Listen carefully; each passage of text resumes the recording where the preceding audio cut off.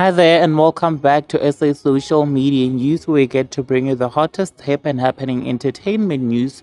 Please do not forget to like, share, and subscribe. It's been over three days now since we saw the video of that slay queen lady being rudely asked by that V-class guy to get the F out of his car now.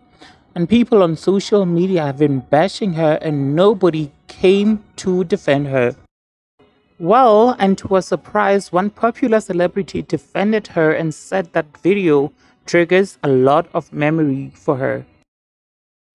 And that person is none other than Anele Mdoda, who went on to Twitter and said it reminded her of a relationship she was once in, where a guy would tell her to leave his house whenever they would get into an argument, regardless of the money and fame she has.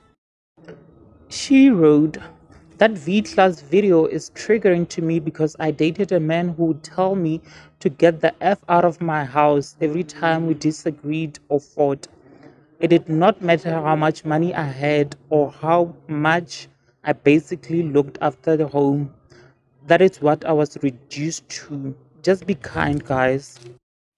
This is so sad, you guys, to see how much abusive SA women go through and the comments were filled with women detailing their sad stories, where some even mentioned they were told to leave in the AMs because of arguments.